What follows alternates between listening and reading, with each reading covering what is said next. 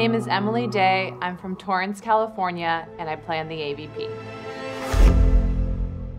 I've been playing on the beach for over 10 years. Um, been able to travel all around the world, representing the USA, all around the US on the AVP tour. I've won nine times, but with those ups, there's been some downs. Uh, in 2016, my partner and I were on our way to qualifying for the 2016 Rio Olympics, and we were in a point race with some other teams from the US. We're only allowed to send two teams. And unfortunately, my partner and I, we came up team number three. It was absolutely devastating. I think it hurt it hurt me and my myself and my team, my teammate obviously, but my family members I felt like I let down. Felt like I let down the USA staff, um, everybody who believed and supported me. It was really tough. Um, my partner and I, we actually decided to break up right there in Germany after our last tournament, after knowing we aren't making the Olympics. So just a ton of bricks piling up against me. But, you know, I knew I still wanted to play. I wanted to compete.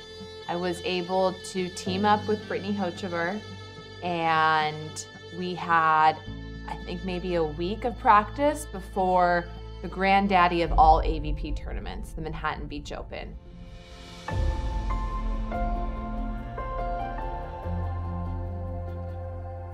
Britt and I had been good friends, so we knew that we could have good chemistry, but we just didn't know how we were gonna do. So we practiced together, and we started the tournament, you know, Manhattan Beach, again, the biggest of them all, the deepest sand, the most fans, the most courts, the most players, and we just clicked. We won on Friday, won on Saturday, and then the next thing I knew, we were in the finals. It was unbelievable. We're in the finals of the Manhattan Beach Open, and I'm from Torrance, so now I have all my family and friends, you know, everybody who supported me through this entire volleyball journey, including like not making the Olympics. They were right there, sideline, I'm about to play in one of the biggest tournaments I've ever played in. So we're in the match. Britt and I win game one, feeling good.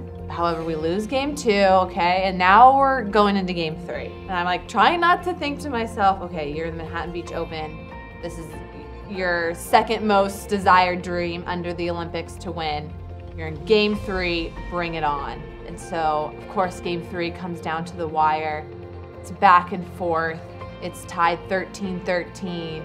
Then we side out. We go up 14-13, and it's back and forth.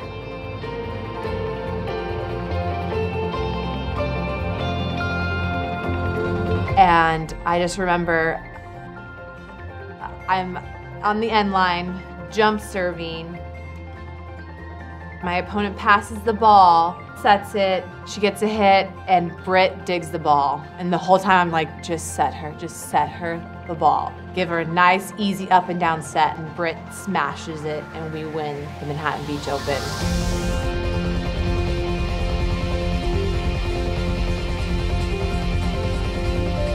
I didn't even, like, I couldn't believe it. Didn't even know how to react.